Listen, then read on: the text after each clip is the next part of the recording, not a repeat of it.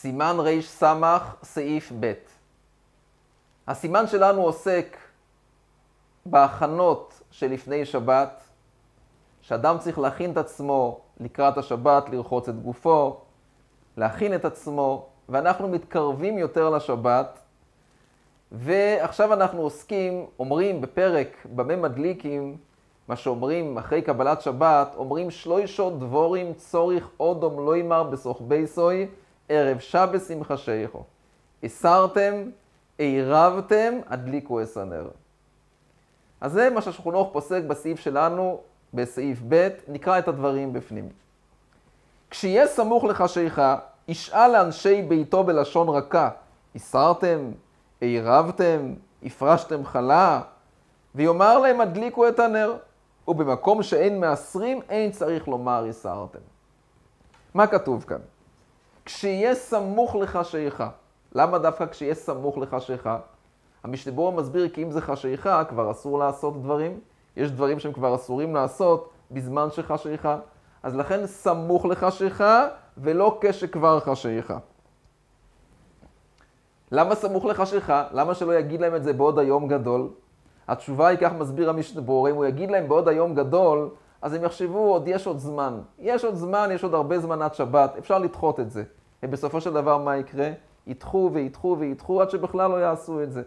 אז לכן צריך לתפוס את הרגע האחרון, להגיד להם עכשיו, אם לא עכשיו אימוסאי, הסרתם, עירבתם, הדליקו אס הנר.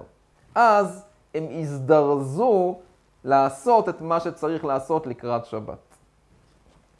כשיהיה סמוך לחשיכה, ישאל לאנשי ביתו בלשון רכה. בלשון רכה, משתבור אומר, כי איכי דליקבלו מיני. לעולם אל יטיל אדם אימה יתרה בתוך ביתו, שזה יכול להביא לידי הרבה קלקולים, לידי הרבה עבירות. הם יפחדו ממנו, יפחדו, אז יעשו דברים שככה הם לא היו עושים.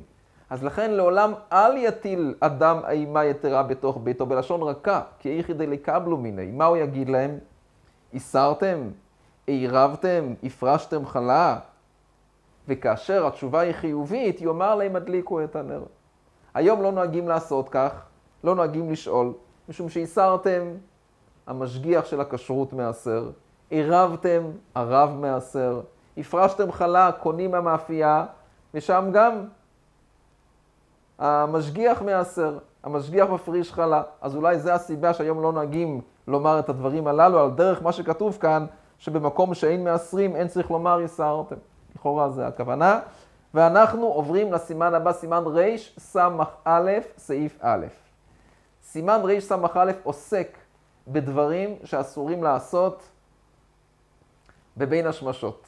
הקולפונים חלקו הראשון ודאי, סעיפים א' וב', בדברים שאסורים לעשות בין השמשות, ומה זה בין השמשות? נקרא בפנים. ספק חשיכה, והוא בין השמשות. הזמן שבין השקיעה לצאת הכוכבים, צאת הכוכבים זה ודאי לילה, מהשקיעה ועד צאת הכוכבים זה זמן של בין השמשות, ספק יום, ספק לילה. כמה זמן זה השיעור הזה? והיינו כדי שיעור הילוך ג' רבעי מיל אחר שקיעת החמה. הילוך שיעור של ג' רבעי מיל משקיעת החמה זה בין השמשות. שאז זה ספק יום, ספק לילה. כמה זמן זה? כמה, כמה, כמה זמן זה ג' רבעי מיל? ושיעור מיל הוא שליש שעה. פחות חלק ל'. כמה זה שליש שעה? 20 דקות. כמה זה פחות חלק ל'? שתי דקות. שתי דקות. 2 כפול 30, 60. 20 דקות פחות 2, כמה זה 18? אז הנה כתוב כאן בסימן רס"א סעיף א', ששיעור בין השמשות זה 18 דקות. זה מה שכתוב כאן. 18 דקות מהשקיעה זה בין השמשות. זה לא סוף פסוק, כי יש עוד סימנים לבין השמשות. שלושה כוכבים, הכסיף העליון, אז לכן צריך לקבל את זה בערבון מוגבל, אבל זה מה שכתוב פה.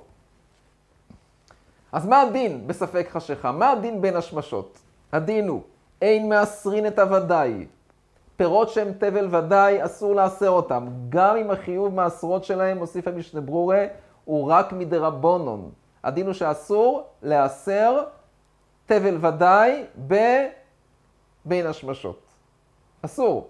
גם אם החיוב שלהם הוא רק מדרבנון. דמאי נלמד בשיעור הבא בעזרת השם שמותר, אבל תבל ודאי אסור.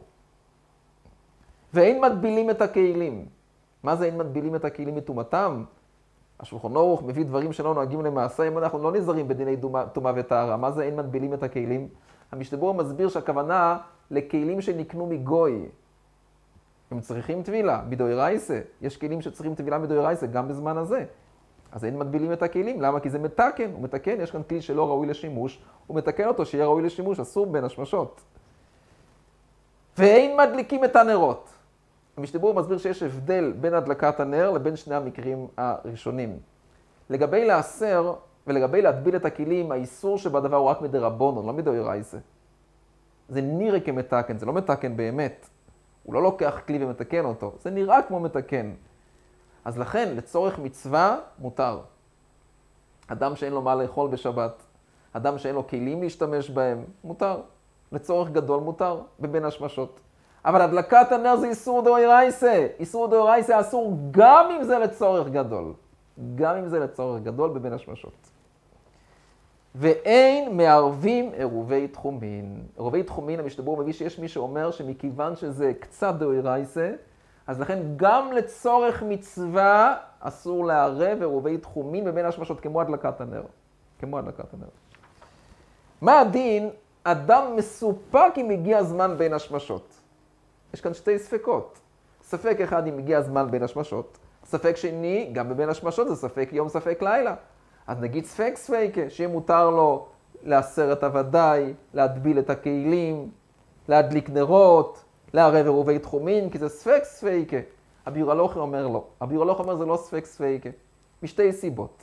סיבה ראשונה זה לא ספק אמיתי, הוא לא יודע. תשאל את החבר שלך, הוא כן ידע. ספק של בין השמשות זה ספק לכל העולם, לכן זה ספק טוב. אבל ספק אם הגיע בין השמשות, זה לא ספק אמיתי. אתה לא יודע, תשאל את החבר שלך, הוא כן ידע. תביא שעון, כן, כן אה, תברר אם זה בין השמשות או לא. טעם נוסף אומר רבי יורא לא כי זה הכל ספק אחד. מה אתה מסתפק? אולי הגיע בין השמשות וגם בין השמשות, אז הכל ספק אחד, אם זה יום או לילה. אז אם אלה זה לא מוגדר כספק וספק, אז לכן גם בספק אם הגיע בין השמשות, יש את אותם דינים שאנחנו לומדים עכשיו בסעיף שלנו.